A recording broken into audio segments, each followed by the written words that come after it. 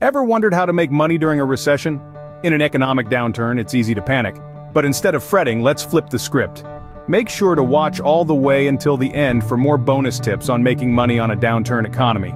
We'll explore 13 savvy tips to help you not just survive but thrive in a financial downturn. From protecting your earning power, boosting your savings, to hunting for investment bargains, there's a world of opportunities to seize. Remember, be fearful when others are greedy, and greedy when others are fearful. A wise mantra from Warren Buffett. Let's dive into the tips. The first tip is to protect your earning power. In times of financial downturn, maintaining your income sources becomes critical. This could mean strengthening your position in your current job, diversifying your income streams, or even learning new skills to make yourself more marketable. Remember, a recession is not just about survival, it's also an opportunity. The key is to stay proactive and adaptable. After all, without income you can't take advantage of the bargains around you. Secondly, boost your savings. In times of economic uncertainty, having a safety net of savings becomes even more crucial. It's like your personal insurance policy against financial downturns. These funds can be your lifeline, helping you navigate through tough times without going into debt the more you have tucked away, the better equipped you'll be to weather the storm. So, make it a priority to save more, spend less, and build up that nest egg. Having a good amount of savings can provide you with financial security. Our third and fourth tips are about house hacking and short-term investments. House hacking is a savvy strategy where you buy a multi-unit property, live in one unit, and rent out the others.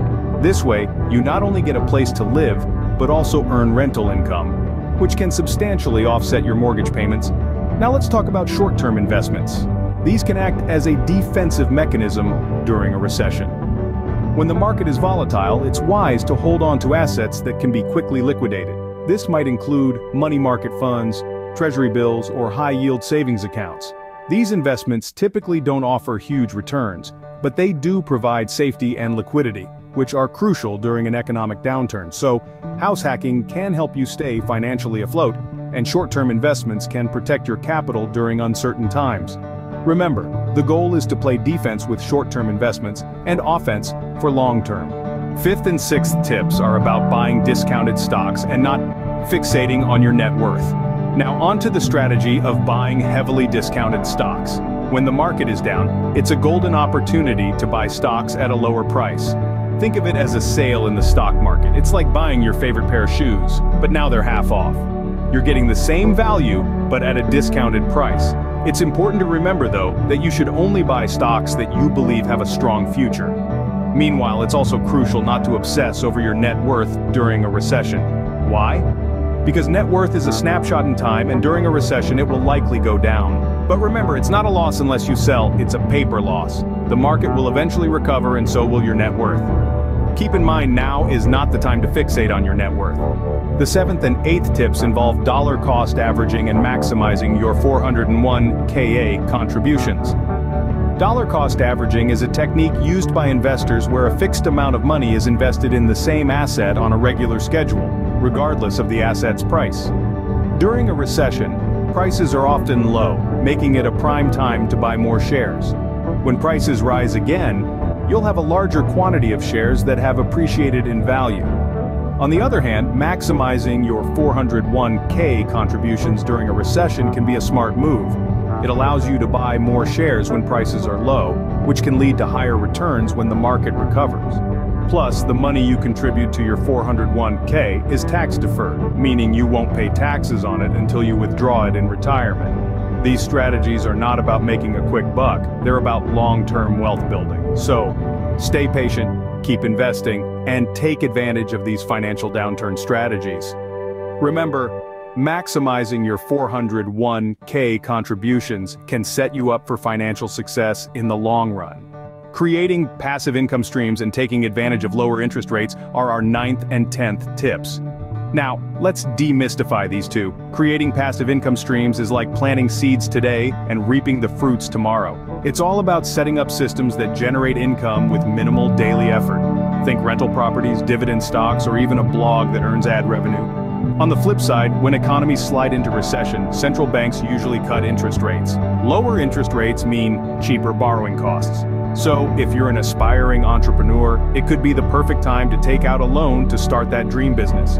Or perhaps you're a homeowner. You could refinance your mortgage and save thousands over the term of your loan. In essence, passive income provides financial stability, while lower interest rates offer opportunities to invest and grow wealth.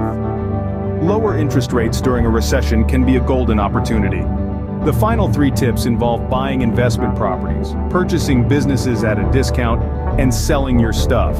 Let's delve into these strategies. First, investment properties.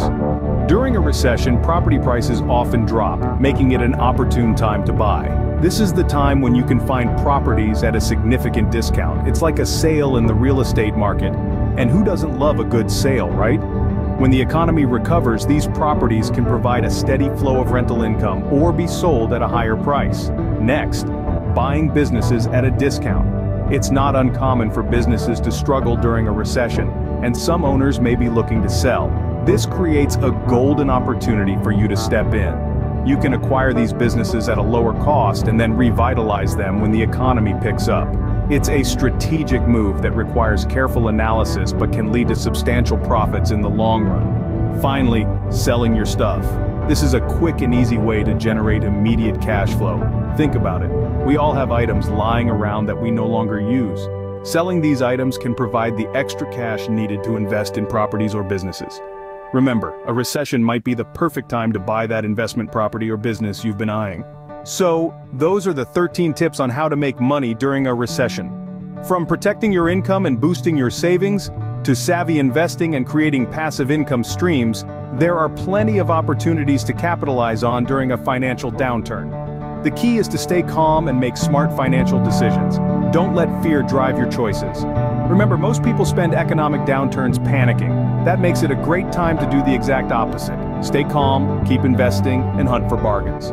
Make sure to like, share, subscribe, and comment for more Making Money content.